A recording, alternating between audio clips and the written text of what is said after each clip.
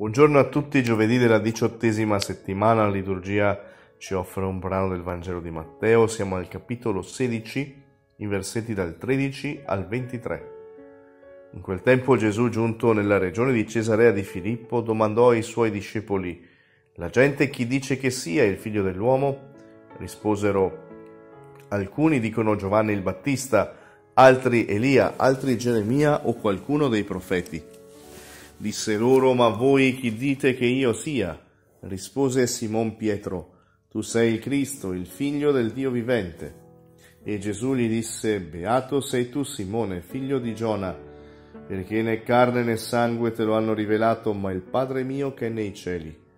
E io a te dico, tu sei Pietro, e su questa pietra edificherò la mia chiesa, e le potenze degli inferi non prevarranno su di essa a te darò le chiavi del regno dei cieli, tutto ciò che legherai sulla terra sarà legato nei cieli, e tutto ciò che scioglierai sulla terra sarà sciolto nei cieli.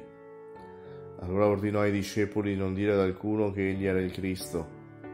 Allora Gesù cominciò a spiegare ai suoi discepoli che doveva andare a Gerusalemme e soffrire molto da parte degli anziani, dei capi dei sacerdoti e degli scribi, e venire ucciso e risorgere il terzo giorno. Pietro lo prese in disparte e si mise a rimproverarlo, dicendo Dio non voglia, Signore, questo non ti accadrà mai.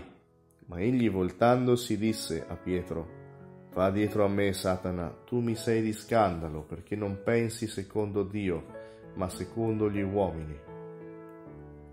È un brano molto ricco quello che abbiamo ascoltato e vediamo come da una parte ci sia una profonda intuizione dell'identità di Gesù, Pietro a un certo punto sperimenta questa ricchezza, tu sei il figlio di Dio, tu sei il Cristo.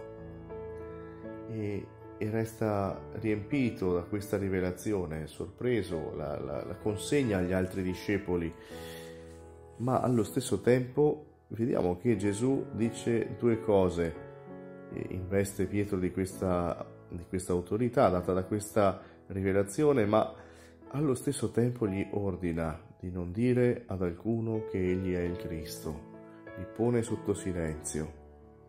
E ancora comincia invece a spiegare la sua passione, a raccontare ciò che dovrà succedere.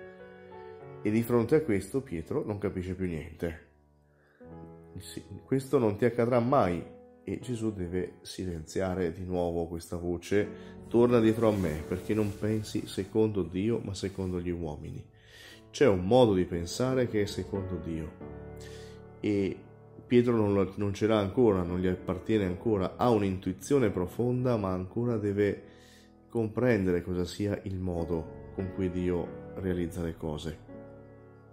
Ed ecco che serve questo tempo, questo silenzio per poter arrivare a, a non dire cose sbagliate, cioè che partono bene ma non arrivano a segno perché alla fine tornano a, a parlare a partire dalla propria comprensione.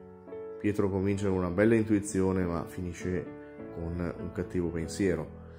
Vogliamo invece chiedere al Signore di aiutarci a avere quella pazienza di fare un'esperienza profonda di Lui. Questo ci porterà a esserne davvero testimoni.